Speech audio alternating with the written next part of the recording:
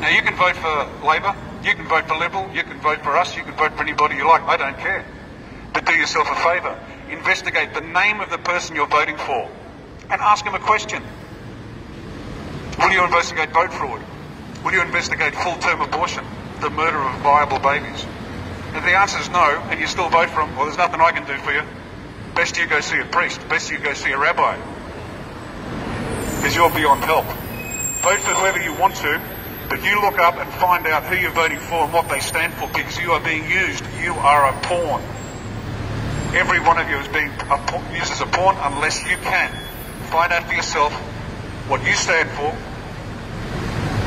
and who's going to represent you fairly in Parliament.